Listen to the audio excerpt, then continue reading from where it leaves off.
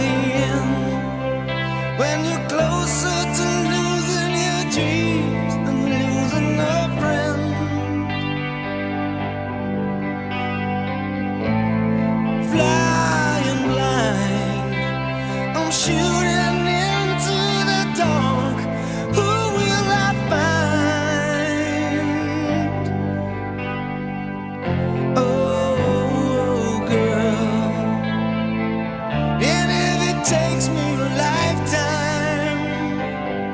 Swear